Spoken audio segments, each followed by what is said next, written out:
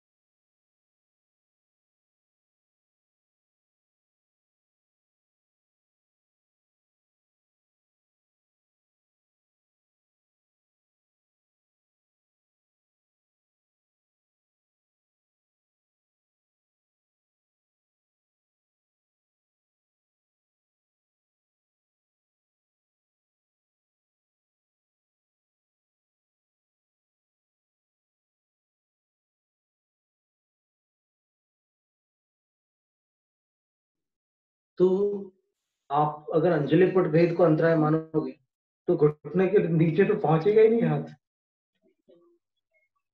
वो तो खुलते ही साथ अंतराय हो जाएगा। तो फिर ये अंतराय कैसे करोगे आप बत्तीस में से दो अंतराय उड़ गए। अगर आप इस अंतराय करते हो तो दो अंतराय जो बत्तीस अंतराय में गिनाए गए हैं, उनका भाव हो जाता है। अब सबसे महत्व की बात है, ये कहीं नहीं हो पाएँगे। और अब कह रहे हैं, न चैतेतराया सिद्ध भक्त।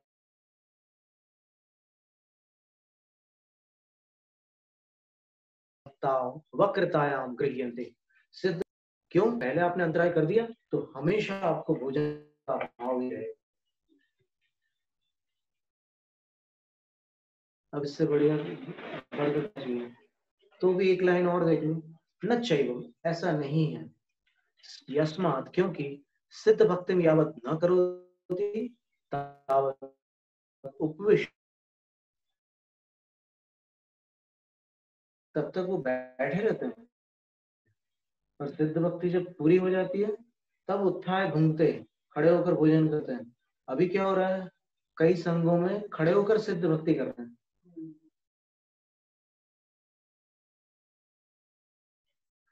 तो उसका विधान मूलाचार प्रदीप में आया कि खड़े होकर भी कर सकते हैं सिद्ध भक्ति लेकिन यहाँ कह रहे हैं कि खड़े होकर अगर आप सिद्ध भक्ति करेंगे तो फिर वो जो भूमि स्पर्शन नाम का अंतराय है वो नहीं बनेगा।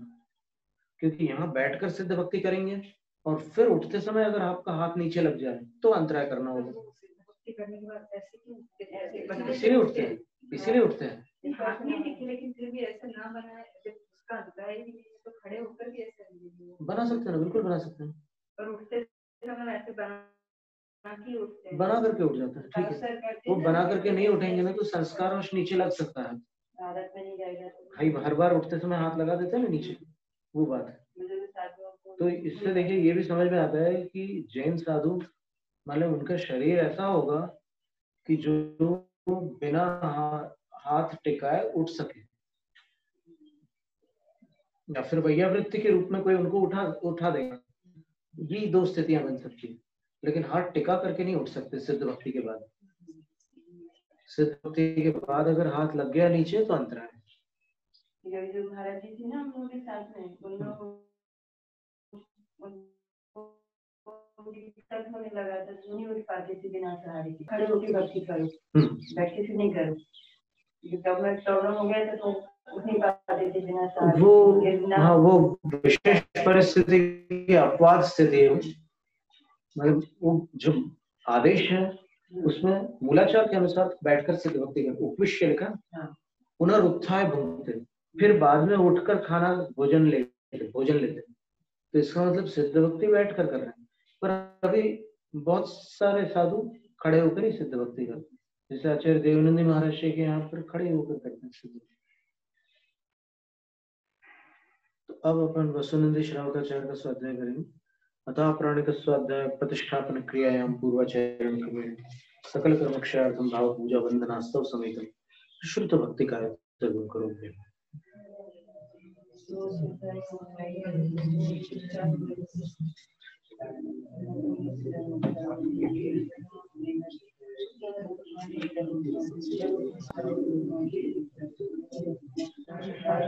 अट्टयति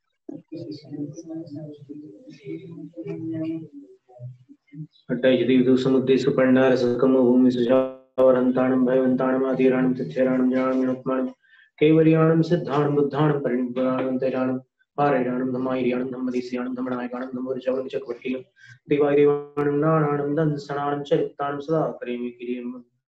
करेमि सामान्यं शब्द सावज्यजोगं पचखामि यावज्जीवन्ति विहेन मनसावत्सकायेन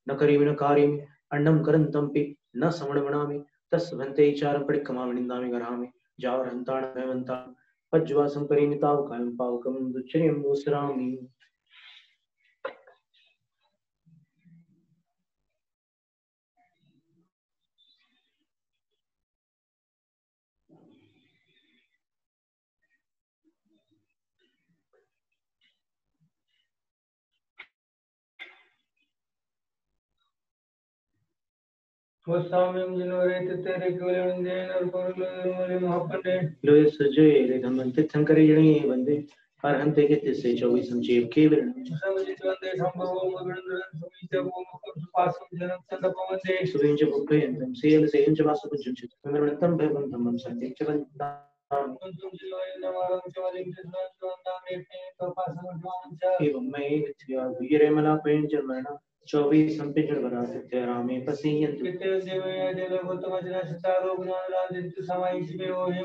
ही निम्बलेरा आई चेई मई प्यास संता सायर में गंभीरा सिद्धा सिद्धिम मम दिसंतु Sujat Parake Vyasa कोटि शतम कोटि शितम दास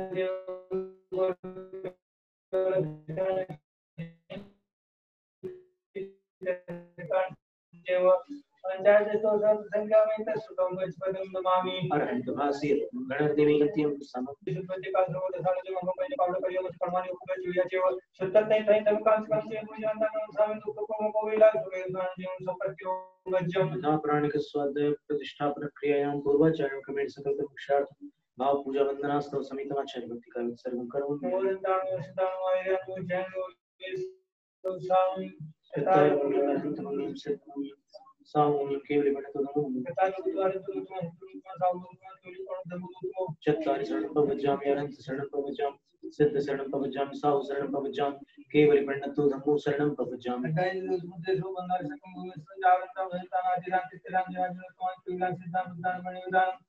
सो बंगाल सकम भूमि संजावंता भयता आदिराम तिराम जराजन तो पिला सिद्धांत दान मणि उदान अंतिरम गार्डन दवरंतम दिशंतम नायवंतम उल्टाम च पट्टिनम देव देव नाना दशां तीर्थं सापरि मित्रियम प्रयन्ते सामयं संसार युगम पच्चकामि जावजीवं तुये मनसा विसा कायनं नहनं करंत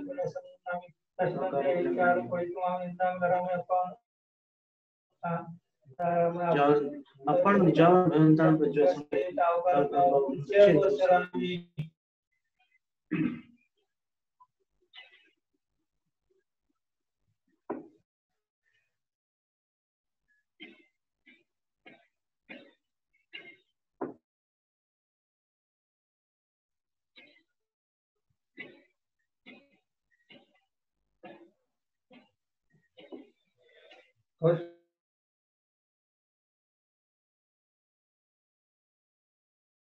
तस्मते विचार कोइतुमां इंदां गरामे अपन आपण विचार भयंतान प्रज्वसन सुखिं च कुप्पयन्तं सीयलसेयं च वासुभुजं च अमरवणन्तं भवन्तं सन्तिं च वन्दामि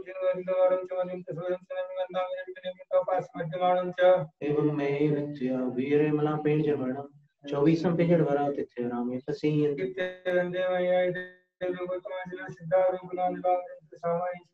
चंदे ही। निम्बलेरा इच्छेहि मय प्यासन्ता सायर में गंभीरा सिद्धा सिद्धिं मम दिसन्तु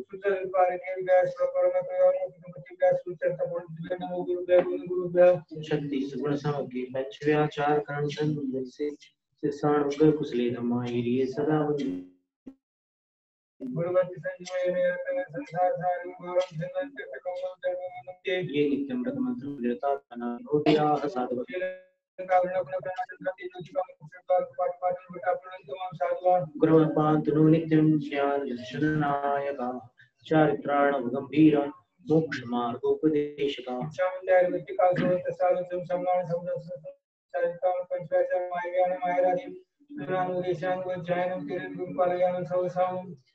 विरता तना रोटिया साधव गुरुपान्तु नित्यं ज्ञानदर्शनायका चारित्राणं गम्भीरा मोक्षमार्गोपदेशका सुरवैतिरीडमणिगिर नवारिधारा हि सिक्तपय कमलम् वरसयल विमल केवल पयास्यास्तेस्तच्छत्थम् सायारो नायारो भवियाणं जीर्णदेशयो धम्मो नमिहूण तं जनिन्दं स्थावय परुवेमो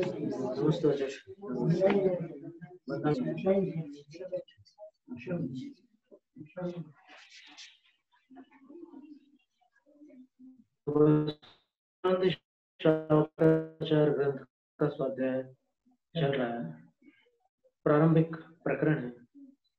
मंगलाचरण और प्रतिज्ञा वाक्य तो प्रारंभ में था ही। तदुपरांत उन्होंने कहा, ग्रंथकर्ता ने, कि विपुलाचल पर्वत पर इंद्रभूति गौतम गणधर ने श्रेणिक राजा के लिए जो शिक्षा दी थी बिल्कुल वैसी ही शिक्षा गुरु परंपरा से जो कही जाती आई है उसको यहाँ पर श्रावक धर्म के रूप में हम प्ररूपित कर रहे हैं। तो हे भव्य जनों आप लोग सुनिएगा। और फिर श्रावक धर्म के अंतर्गत उन्होंने बताया कि श्रावक जो होता है वो देश विरत होता है। नहीं अभी तो हम भावार्थ बता रहे हैं जो अभी पढ़ चुके हैं तो देश विरत जो होता है, उसके ग्यारह स्थान बताए दर्शन, व्रत, सामायिक प्रोषद सचित, रात्रिभक्त, ब्रह्म, आरंभ, परिग्रह, अनुमनन, उद्दिष्ट, ऐसे ग्यारह स्थान बताए कुछ हे रूप है, कुछ उपाधेय रूप।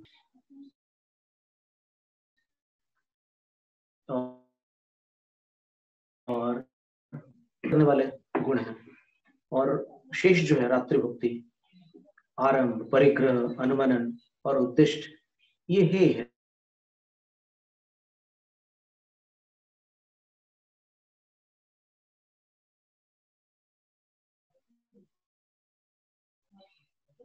व्याख्यान तो विशेष प्रतिपत्ति, जो कथन संक्षेप से किया जाता है गाथाओं में, सूत्रों में।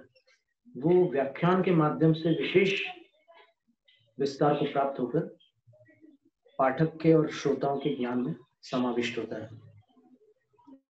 और ये ग्यारह स्थान सम्यक्त रहित जीव के नहीं होते। इसलिए सर्वप्रथम सम्यक का कथन श्रवण योग्य है।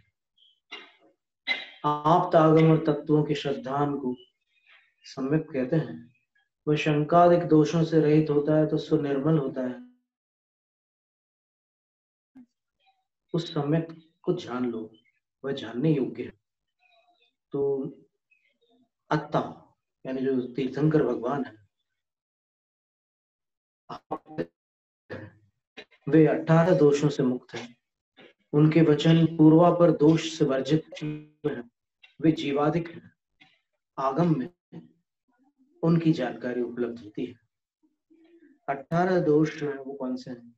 तो भूख, प्यास, भय, द्वेष, राग, मोह, जरा अर्थात वृद्धावस्था, रुजा अर्थात रोग, चिंता, मृत्यु, खेद, फिर स्वेद अर्थात प्रस्वेद, पसीना, अरति, अप्रीति, मद, विस्मय, आश्चर्य, जन्म, निद्रा, तथा विषाद ऐसे अठारह दोष हैं।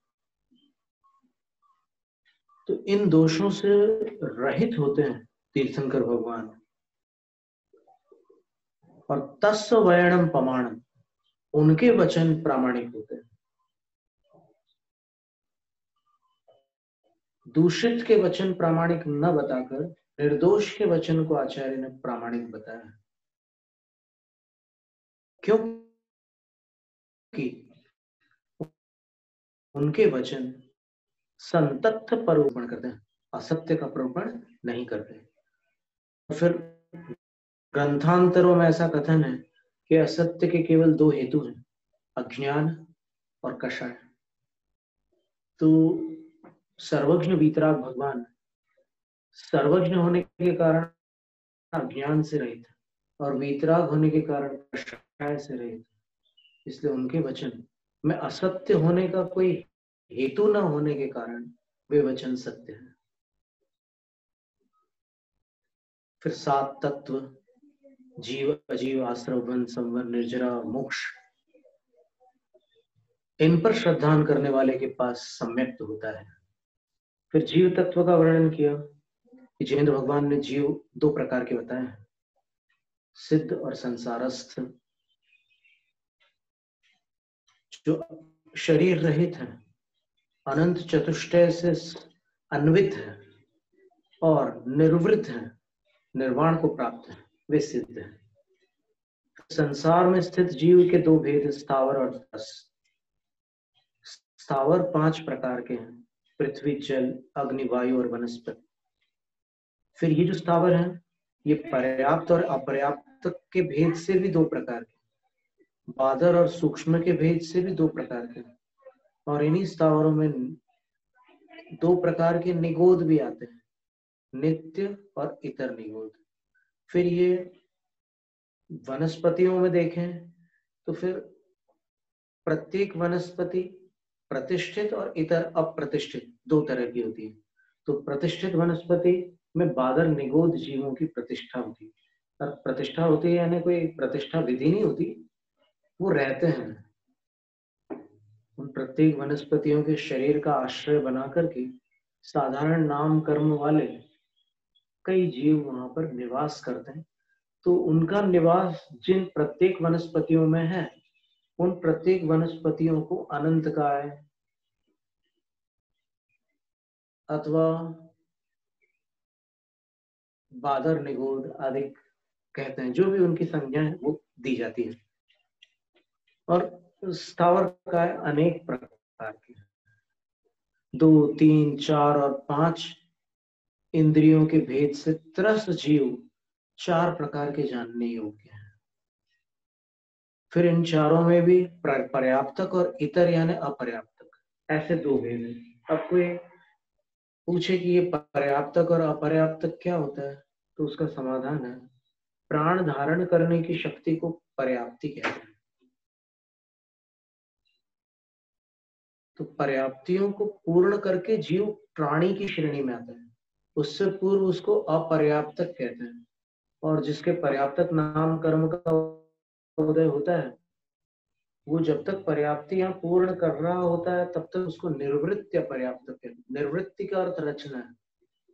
रचनागत अपर्याप्त यानी वो उस प्रक्रिया में है। और वो नियम से पर्याप्ति करेगा।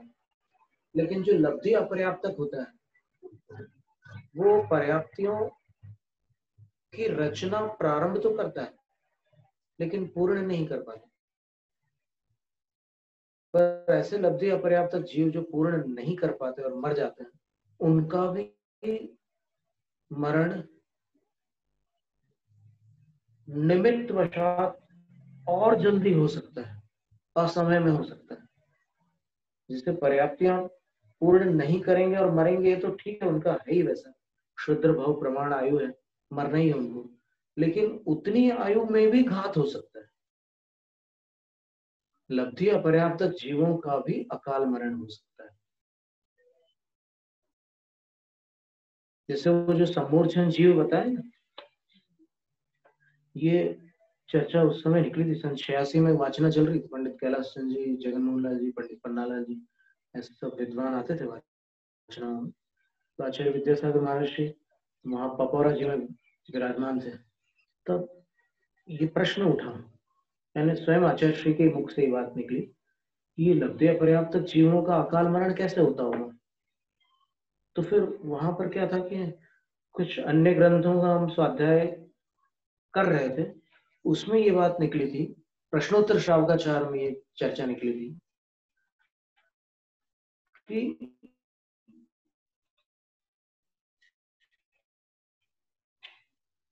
काल में। नौ लाख लब्धि अपर्याप्त मनुष्यों का घात होता।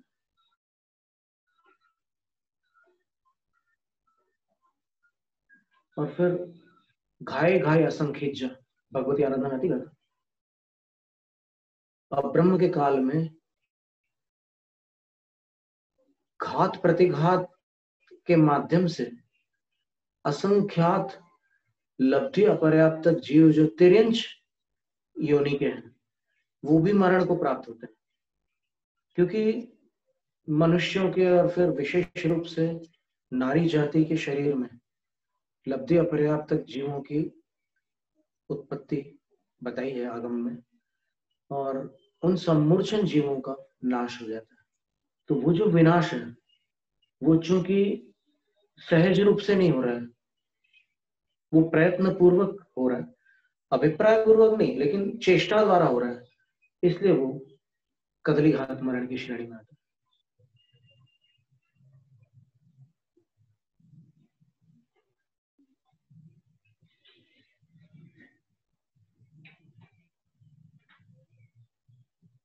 और ये लब्धि अपर्याप्त जीव जो होते हैं, लब्धि अपुण्णा मणुआ अजव खंडे सुगंति नियम आर्यखंड में ही इनके होने का नियम है। इमलिच खंड में लब्धि अपर्याप्त मनुष्य नहीं होते। खंड में विकलेंद्री जीव भी नहीं होता, ऐसा भी उल्लेख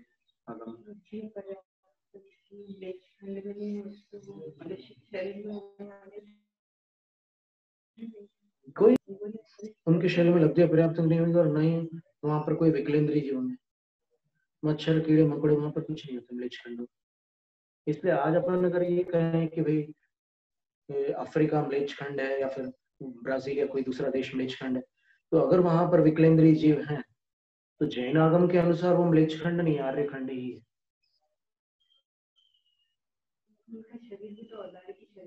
औदारी होगा। सवाल ही नहीं उठता क्योंकि वैक्रिक शरीर में निर्वृत्य पर्याप्तक और पर्याप्तक ऐसे दो ही भेद है नरक और देव गति में। उनके शरीर में नहीं होंगे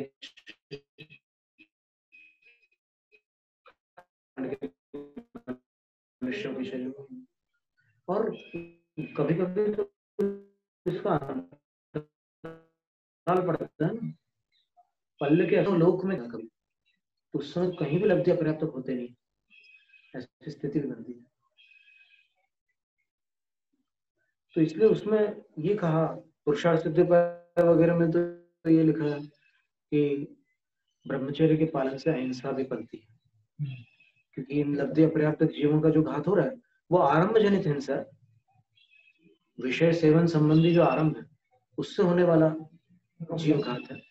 तो उसका भी निवारण हो सकता है ब्रह्मचर्य के माध्यम से।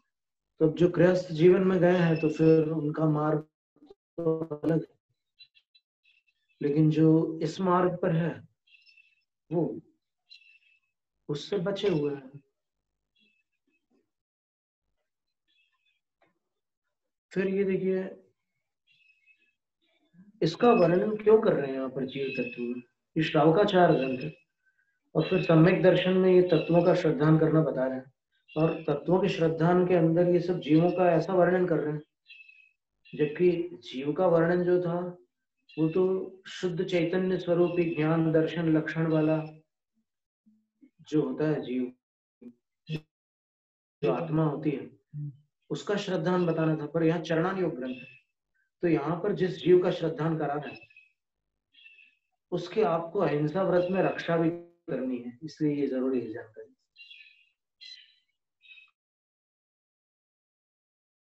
हिंसा महाव्रत की जो परिभाषा दी है, वो क्या है? त्रस और सावर जीवों की रक्षा करना अहिंसा महाव्रत? नहीं। ये देखिए, आयु, कुल, योनि मारणा गुणस्थान, जीव समास, उपयोग, प्राण, संज्ञाएँ, इन सब के माध्यम से जीव को जानकर, उसको मानकर, फिर उन जीवों की हिंसा का मन वचन काय, कृत कार्य अनुमोदना से जीवन के लिए परित्याग करने का नाम चीटियों को बचा करके चलना। चीटियों को बचाने वाले तो वो लोग भी होते हैं जो सैकड़ों किलोमीटर गाड़ियों में यात्रा करके आते हैं और उतरने के बाद चीटियों को बचाते हैं। तो ये जो करुणा होती है ना चरणान योग की करुणा, पक्षपाती करुणा नहीं, वो क्रम से जो भूमिकाओं में आरोहण है वहाँ जिस भूमिका में जितनी करुणा बताई है, उसका अतिरेक करके आप अधिक करुणावान बनने का अभिनय करोगे तो फिर आपका ही नुकसान होने वाला है। आपने अहिंसा व्रत धारण नहीं किया। पहली बात तो ये समझने की कि जैन धर्म के अनुसार अहिंसा कहाँ से प्रारंभ होती है?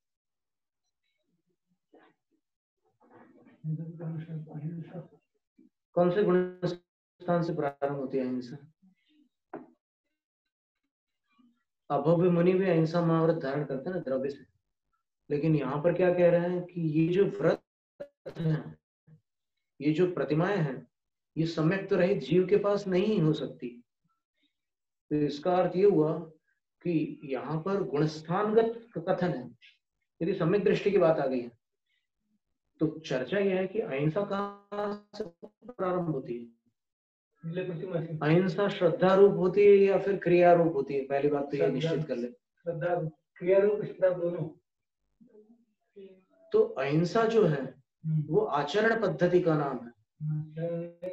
विचार पद्धति में तो अनेकांतर सादवाद होता है। हम्म। वहाँ कहा से अहिंसा आ गई? और जो लोग एक धड़क बोल जाते हैं कि हमारे यहाँ जैन धर्म में अहिंसा सिद्धांत है।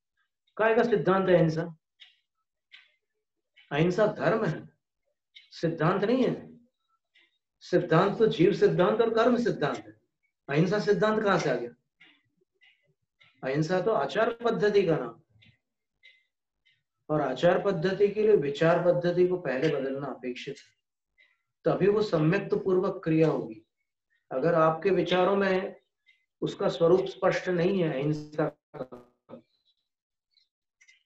तो आप कहीं का गणित कहीं से कहीं जोड़ेंगे।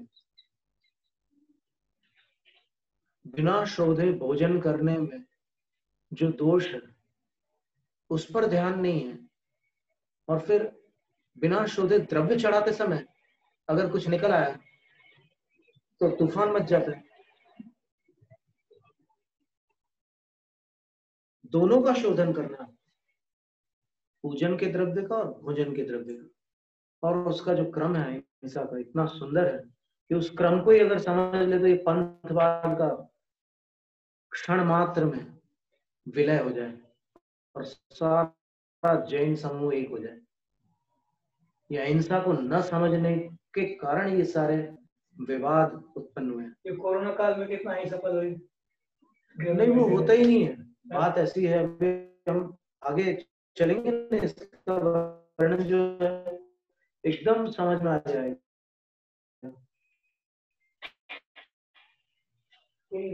आप देखो ऐसा तो पड़ गया कोरोना में। कोरोना का महत्व समझ में आने लगा लोगों को जिनको दो दोनों महीने मंदिर जाने नहीं मिला उनकी आँखों में आँसू आ गए।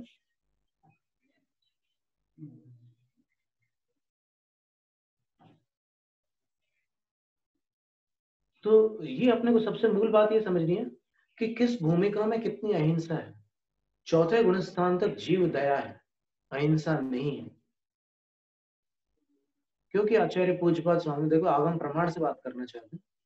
आचार्य अमृत चंद्र सूर्य ने पुरुषार्थ सिद्धोपाय ग्रंथ में क्या लिखा है? हिंसा क्या है? हिंसा या हिंसा परिणमनम अपनी हिंसा। तस्मात प्रमत्त योगे प्राण व्यपरोपण नित्यम।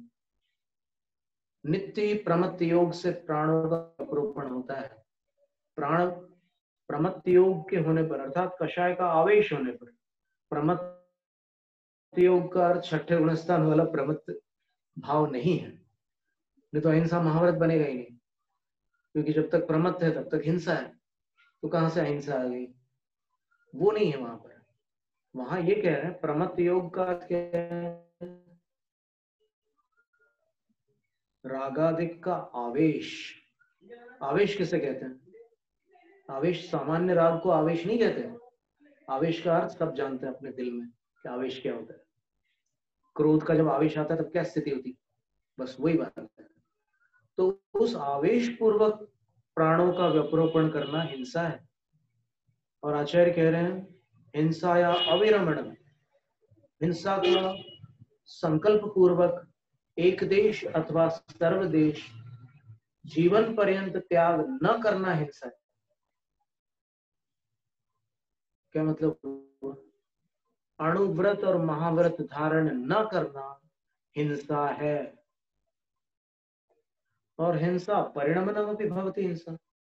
और हिंसा रूप परिणमन करना, यानी कषाय के आवेश में किसी जीव के अपने प्राणों का व्यपरोपण करना भी हिंसा वो तो है ही है।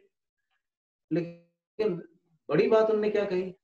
कि अणुव्रत और महाव्रतों को न धारण करना हिंसा है। तो अहिंसा किसको कहोगे धारण करने को अहिंसा कहेंगे। जब न धारण करना हिंसा है तो धारण करना ही तो अहिंसा हुआ। तो फिर अहिंसा कहाँ प्रारंभ हुई? जैन धर्म के अनुसार। पंचम गुण स्थान अहिंसा के प्रति श्रद्धान अहिंसा के प्रति झुकाव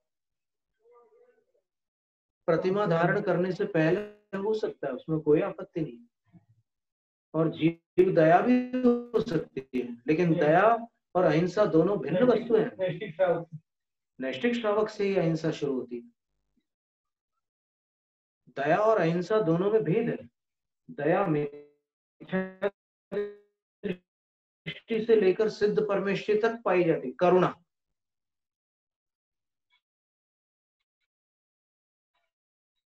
करुणा शब्द को लेकर आचार्य की बात तो दृष्टियों में भी करुणा होती है, और सिद्ध परमेश्वरियों में भी करुणा होती है। सिद्ध परमेश्वरियों में करुणा होती है, ये कहाँ आता है? जन उनसे पूछ सकते क्या?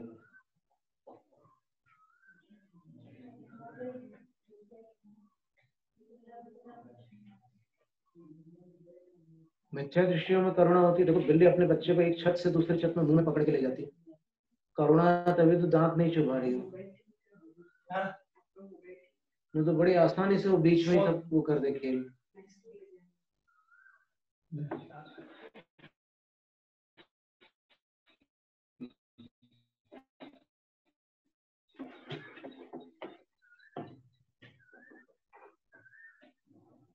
यहाँ पर जो जीव दया का काम कर रहे हैं। और कुछ मानव, मानवों का वो कर रहे हैं। मानव सेवा का कार्य कर रहे हैं। भले मांसाहारी लेकिन मानव सेवा का कार्य कर रहे हैं। तो उनकी करुणा भी सिलेक्टिव एम्पैथी बोलते हैं उसको, कि उनको मनुष्यों के प्रति तो दया है, लेकिन उन जीवों के प्रति नहीं है दया। और मनुष्यों की सेवा में वो कुछ भी कर सकते हैं।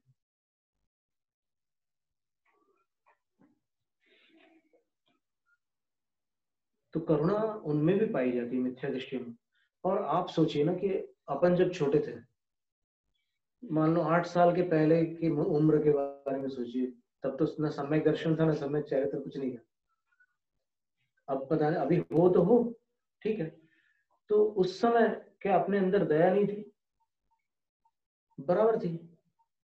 उस समय भी अपन किसी को दुखी देखकर दुखी होते थे, और सब संवेदनाएँ अपने अंदर थी। तो मिथ्या दृष्टि में भी करुणा होती है, शासन सम्यक दृष्टि में भी होती है, मिश्र में भी होती है, अविरत सम्यक दृष्टि में भी होती है, थोड़ा अंतर रहता है करुणा में, करुणा ज़रूर होती है। और फिर सिद्धों में होती है ऐसा कथन। लगभग दो या तीन स्थानों पर उपलब्ध होता है। तत्वार्थ सार ग्रंथ के मोक्षाधिकार में आचार्य अमृतचंद सूर्य ने कहा जानत पश्यतश्चोर्ध्वम जगत पुनः। नहीं बंध प्रसंगोस्य सर्वास्त्र परीक्षया। ऊर्ध्वम। ऊपर पहुँच गए, सिद्धालय। लेकिन अब क्या कर रहे हैं वो जगत जानत पश्यत संपूर्ण जगत को जान रहे हैं और देख रहे हैं। तो भी उनको कारुण्यात बंध प्रसंग न। करुणा के कारण जो पहले बंद हुआ करता था, उस बंद का प्रसंग नहीं है सिद्धों में। क्यों नहीं है? सर्वास्त्र परीक्षा पाँचों अस्त्रों को क्षय कर चुके।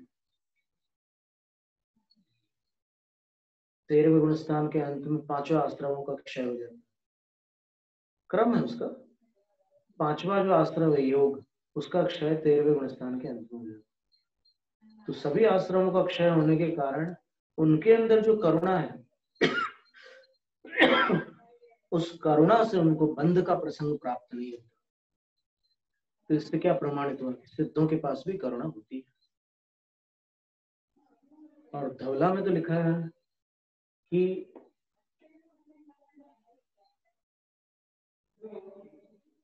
करुणाए कारण करुणैत्य कम किम न करुणा में कारण भूत करुणा नाम का कोई कर्म 148 कर्म प्रकृति में क्यों नहीं बताया? तो उसका उत्तर देता है कि न इससे जीव सहावाद, सहावस कम जनिदत्त विरोहाद।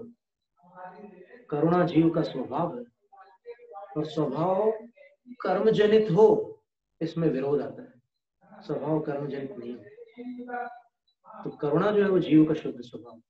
तो अब करुणा के साथ जो बंद होता है, वो कब होता है? जब वो करुणा सराग हो। और जब वीतराग हो तो बंद नहीं हो सकता। तो जिनेन्द्र भगवान वीतराग करुणा मान। तो आप जिनेन्द्र भगवान को करुणा निधि कहें तो कोई आपत्ति नहीं। आगम सम्मत सिद्धांत से अबाधित तो ये करुणा जो है, ये बहुत व्यापक है। लेकिन अहिंसा जो है, ये अहिंसा कहाँ से कहाँ तक होती है? प्रवृत्त्यात्मक अहिंसा पांचवे से सातवें तक होती है। और बृहद द्रव्य संग्रह में निश्चय व्रत जो बताया है, वो बारहवें स्थान में बताया तो शुद्धोपयोग में भी वो अहिंसा व्रत निश्चय व्रत के रूप में रहता ध्यान में लीन है, वो हिंसा नहीं हो रही उनके माध्यम से। तो वो वहाँ पर भी एक अहिंसा है। तो उस अपेक्षा से देखें निवृत्ति को सम्मिलित करके देखें तो फिर पांचवे से लेकर बारहवें गुण स्थान तक अहिंसा की सीमा है। बारहवें के ऊपर न हिंसा है, न अहिंसा है, क्योंकि वो सर्वज्ञ देव है, परमात्मा हो चुके हैं वो। तो वो तो इनका फल है वो। ये जो कुछ भी उनने साधना, आराधना की है, उसके फल को उनने प्राप्त कर लिया। तो वहाँ पर कोई अहिंसा का प्रश्न ही नहीं उठता। हिंसा का भी कुछ नहीं अहिंसा का भी कुछ नहीं वो एक ऊपर की भूमिका है। उच्च भूमिका है। तो इस तरह ये आगम में वर्णित जीवों का जो विस्तार है, उसको जानकर, श्रद्धान करना सम्यक दर्शन जीव तत्व विषयक सम्यक दर्शन अब अजीव तत्व विषयक वर्णन जो है, उसका यहाँ पर इसके उपरांत कथन है। जीव का इससे विस्तार किया क्योंकि अपना विशेष संबंध जो होता है आचरण पद्धति में, वो जीव प्रधान होता है। क्योंकि अपन करुणा पूर्वक ही अहिंसा का पालन करते हैं। ऐसा नहीं है कि आगम में लिखा है कि इन जीवों पर आपको सावधानी बरतनी है या फिर इनकी हिंसा नहीं करनी है, इसलिए आप अहिंसा का पालन करते हैं। नहीं चरित्र सार ग्रंथ में लिखा था कि व्रति कौन होता है? जो पाँच पापों का त्याग करता है, वो व्रति होता है, ये तो सच है। लेकिन पाप का त्याग क्यों करता है वो? वो हेतु दिया था वहाँ पर वो हेतु ये था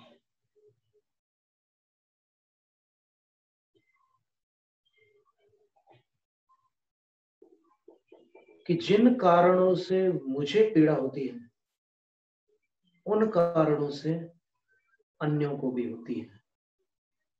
इसलिए मैं उन कारणों से रहित प्रवृत्ति करूँगा। इसका नाम अहिंसा व्रत जिन वचनों से मुझे पीड़ा होती है, उन वचनों से अन्यों को भी पीड़ा होती है। इसलिए मैं उन वचनों से रहित प्रवृत्ति करूँगा। सत्य व्रत होगा।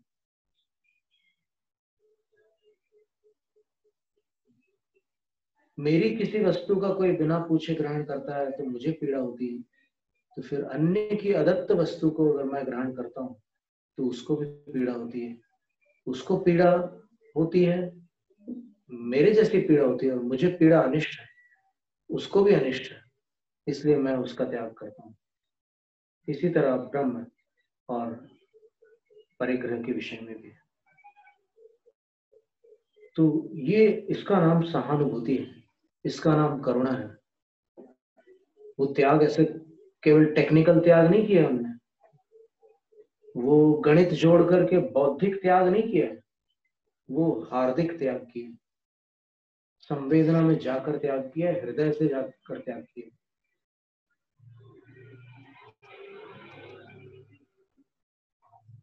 तब वो व्रति है। अन्यथा कभी अवसर मिलेगा तो देखना उसमें कैसी क्रूरता आ जाती है। कैसी परिणतियाँ होने लग जाती है? तो वो परिणतियाँ जिसने हृदय से त्याग किया है, उसमें नहीं होगी। कषाय का आवेश आता है त्यागियों में। कुछ काल के लिए अतिचार, अतिक्रम, व्यतिक्रम, अतिचार होते हैं। कदाचित अनाचार होते हैं तो फिर उसका प्रायश्चित अलग से लेना होता है। अतिक्रम का प्रायश्चित तो प्रतिक्रमण अतिक्रमण हो गया और प्रतिक्रमण कर लेते हैं। अतिक्रम, व्यतिक्रम का भी सामायिक पाठ वगैरह में प्रायश्चित हो जाता है।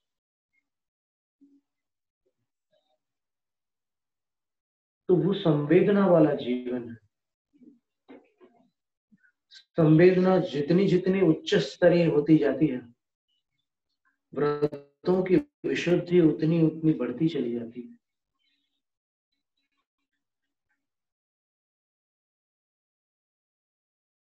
और इसी का नाम विकास है। संयमा संयम लब्धि स्थान में जो उन्नति होती है, वो इसी से होती भावों की विशुद्धि से।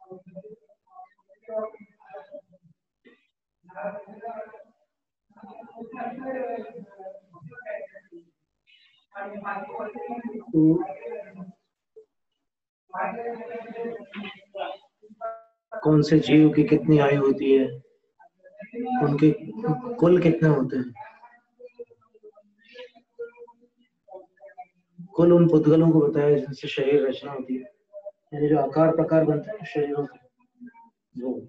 यद्यपि नाम कर्म के असंख्यात भेद होते हैं तत्वार्थ वार्तिक में और ज्ञानावरण के भी असंख्यात भेद होते हैं। बाकी सब कर्मों की एक सीमा है, लेकिन ये दो कर्म ऐसे हैं जिनके असंख्यात भेद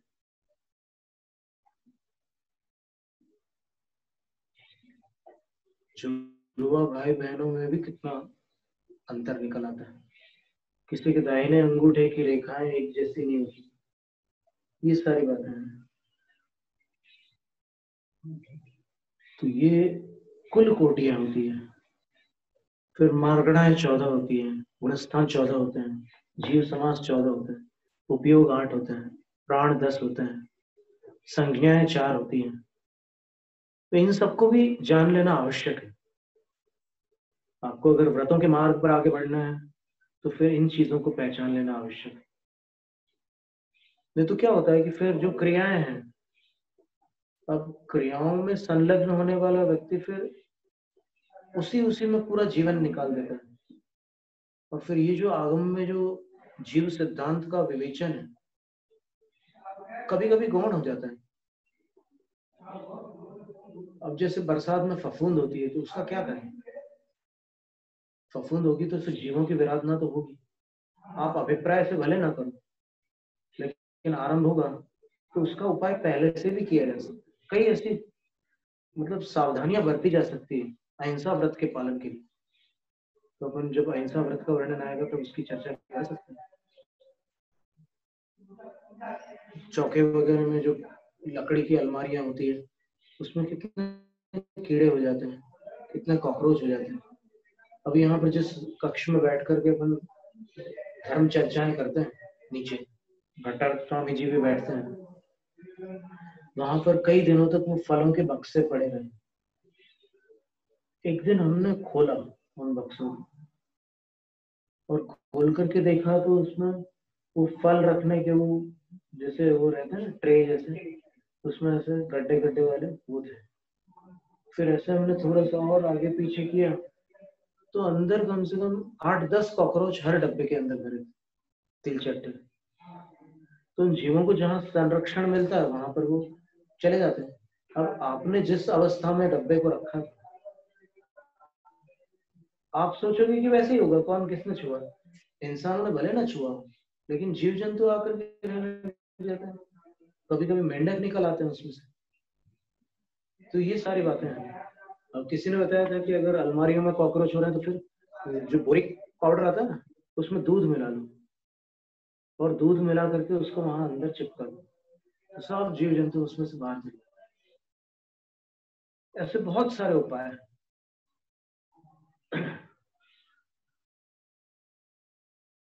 तो अभी अपन इतना समझ लें कि आयु में जगन्य मध्यम, उत्कृष्ट आयु होती है जीवों की। फिर इनमें से कौन से सोपक्रम आयुष्य वाले हैं कौन से निरुपक्रम आयुष्य वाले यानी कौन कदले घात अकाल मरण वाले हैं, कौन सकाल मरण वाले हैं? अकाल सकाल मरण का वर्णन राजवार्तिक में, सर्वार्थ सिद्धि में और अनेक ग्रंथों में उपलब्ध होता है। इसलिए अपन वहाँ पर वो विवक्षा न लगाए कि भाई केवली के ज्ञान में जिसका जब मरण है, उसी समय मरण होगा। तो केवली ने फिर दो मरण क्यों बताया वो यही कहते हैं कि, वो यही कह देते कि मैं जानता हूँ कि किसका कब मरण होना, किसका कब कब मोक्ष होना है। तो वही उसका काल है, मरण का। इस अपेक्षा से सारे मरण सकाल है। मोक्ष भी अपने ही काल में होगा। वो सकाल नहीं कहते, उसको स्वकाल कहते हैं। और स्वकाल में मरण हो रहा है, क्योंकि घटना जिस काल में होती है, उसको उस घटना का स्वकाल कहते हैं। वो सकाल और स्वकाल में अंतर है, इतना तो समझना पड़ेगा। ऐसे स्वाध्याय नहीं होता कि एक अक्षर का अर्थ आप कुछ का कुछ कर दो और कहीं दूसरे जगह उसको जोड़ दो, ऐसा नहीं चलता। स्वकाल और सकाल में बड़ा अंतर है। सारे, सारी घटनाएँ स्वकाल हो रही है, लेकिन उनमें से कुछ घटनाएँ अयथाकाल है, कुछ यथाकाल है। काल ने और अकाल ने अमृत चंद्र आचार्य ने प्रवचन सार ग्रंथ के अंत में जो सैतालीस नयों से वर्णन किया है, आत्मा का, काल ने और अकाल ने का वर्णन क्यों किया? अगर अकाल नाम की कोई वस्तु होती नहीं तो अमृत चंद्र आचार्य मिथ्यावादी होते। पर ऐसा नहीं है। दोनों बातें पर जैनेन्द्र भगवान ने जब दो प्रकार के मरण बताए, और फिर उन जीवों को अलग से गिनाया है कि जिनमें कदली घात नहीं होता, अलग से गिनाया। तो इस बात पर ध्यान देना होगा। पंडित सदासुद दास जी ने जो रत्नकर्ण श्रावकाचार पर ढूंढारी भाषा में लंबी चौड़ी व्याख्या लिखी है, उसमें उन्होंने जो प्रथम असत्य है,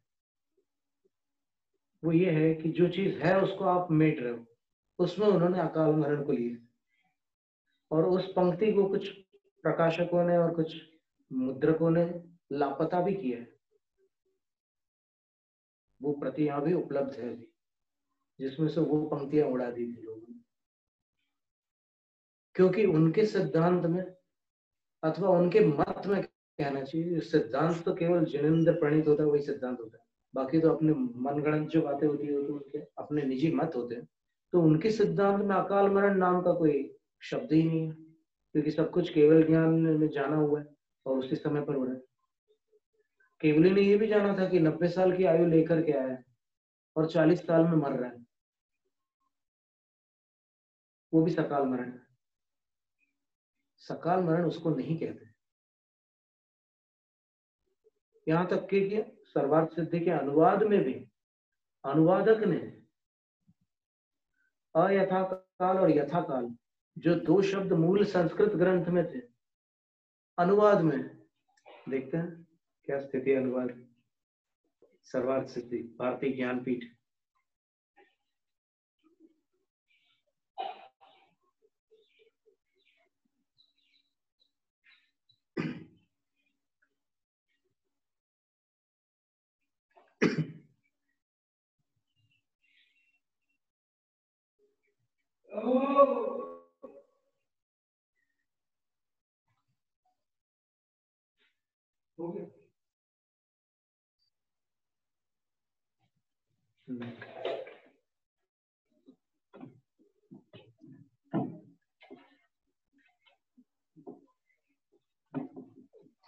त्रेपन सूत्र त्रेपनवा सूत्र दूसरे अध्याय का।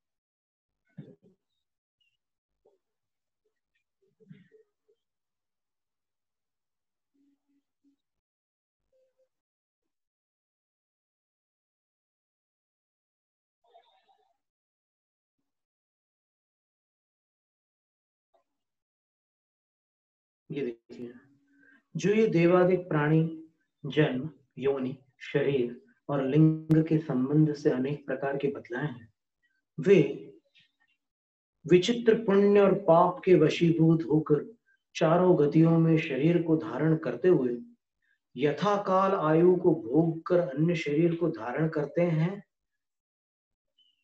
व आयु को पूरा न करके भी शरीर को धारण करते हैं। ये अनुवाद में लिखा गया है, ये वाक्य। जबकि जैन सिद्धांत में आयु को पूरा न करके शरीर धारण करने का प्रश्न ही नहीं उठता। क्योंकि आयु को पूरा जब तक नहीं किया, तब तक वो मरा हुआ नहीं है, वो ज़िंदा है। तो वो कैसे दूसरे शरीर को धारण कर लेगा? जबकि मूल में क्या लिखा है? उत अयथा कालम अपी अत आह। अयथा कालम अपी इस शब्द को हिंदी में न लिखने के उद्देश्य से उन्होंने ये लिख दिया कि आयु को पूरा न करके भी शरीर को धारण करते हैं।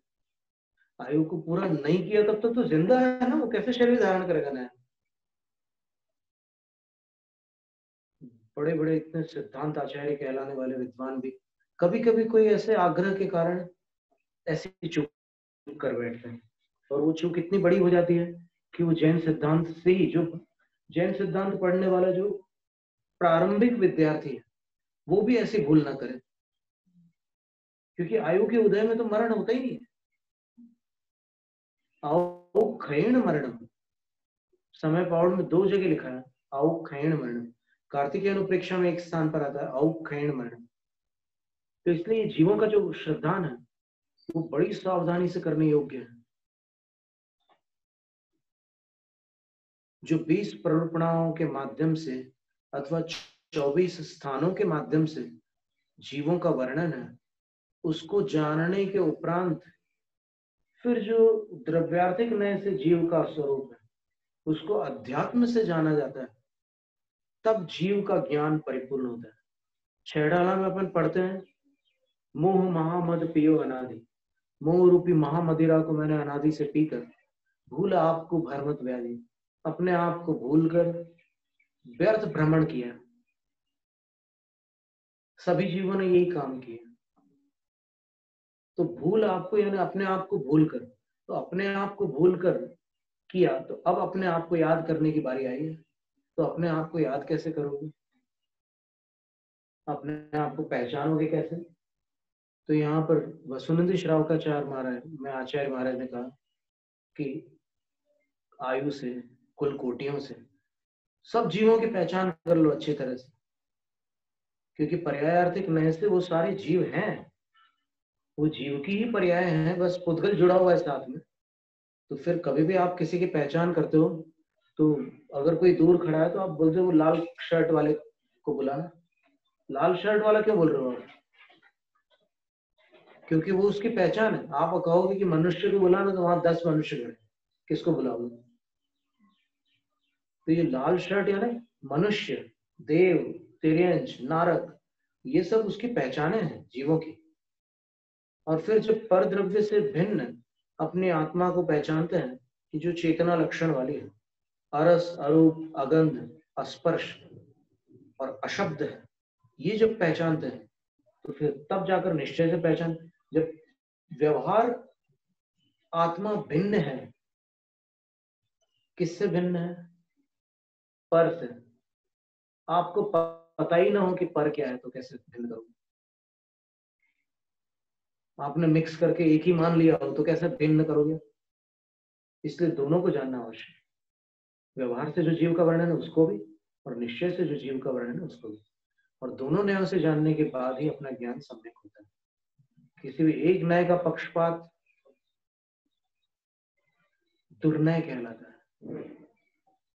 और दुर्नय का अर्थ होता है कुश्रुत ज्ञान। कुश्रुत ज्ञान का अंश दुर्नय होता है। इसलिए इससे सावधान रहना है। जैनम जय शासन। तथा प्राणिक स्वाध्याय निष्ठात्मक क्रियाएँ पूर्वाचरण क्रमेण। सकल कर्म क्षयात्म भाव पूजा वंदना समेत श्रुत भक्ति का सर्वम करूँगी।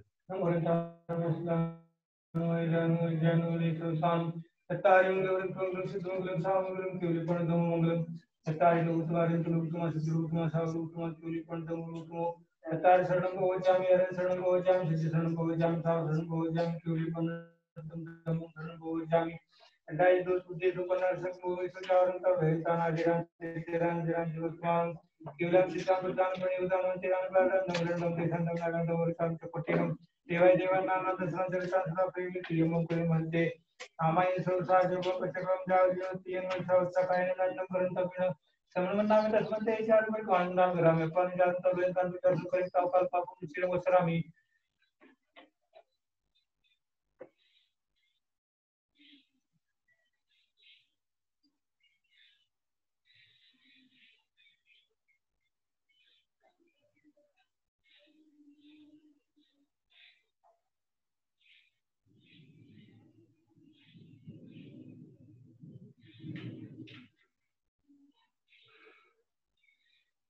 कर कर कल्प पापम सिर वसरामी Samyam January the Cherry Kalan Jana Purno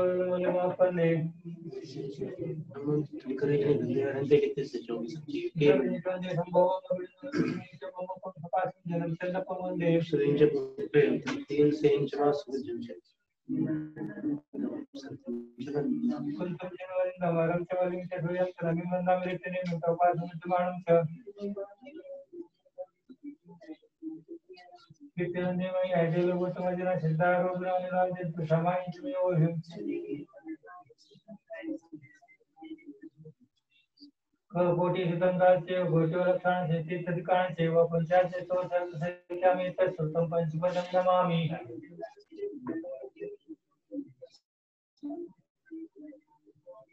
शांति सत्वचे कासुवत सालुचे मंगम पहिने पावड पडले परमाने उपयोग सूर्याची व सतत थे संकांत कालचे पूजन दान स्वामी दुःख कुकम को मिला सुगन सांजे संपत्ति हो मध्यम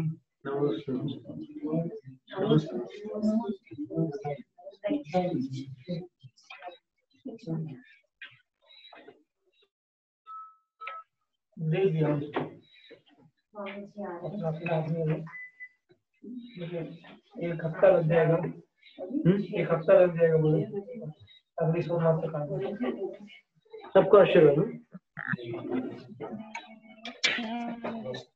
नमस्ते। महाराज जी आशीर्वाद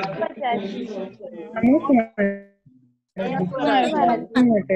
माता जी